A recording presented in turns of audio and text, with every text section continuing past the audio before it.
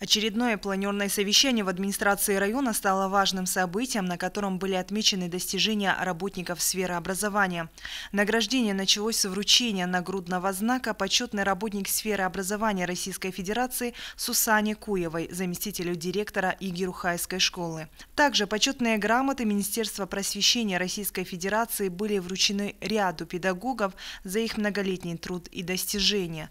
Среди награжденных Марина Аташукова, учитель русского русского языка и литературы школы номер один аула Кашхабль, Ирма Афашагова, директор общеобразовательной школы номер 11 аула Хоц, Эдуард Мамишев, директор школы номер 8 Силана Тырбова, Асиат Пшизова, учитель адыгейского языка и литературы общеобразовательного учреждения поселка Дружба. Кроме того, почетными грамотами Министерства образования и науки Республики Адыгея были награждены учителя и воспитатели, которые добились успеха в обучении и развитии творческой активности обучающихся.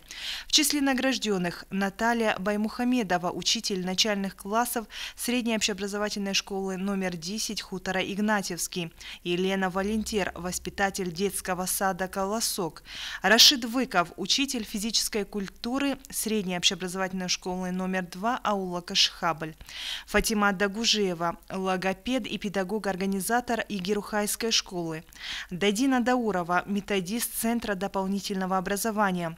Рамазан Джигунов, тренер по футболу детской юношеской спортивной школы.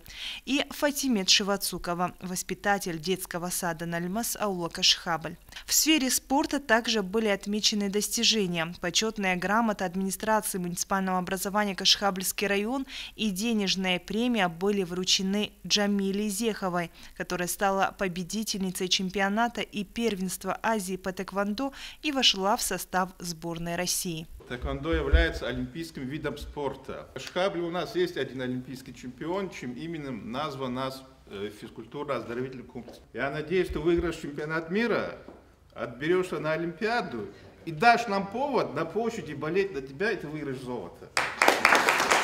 Глава района поздравил всех награжденных и выразил надежду на дальнейшие успехи в их профессиональной деятельности. После церемонии награждения участники совещания обсудили важные вопросы повестки дня, требующие особого внимания.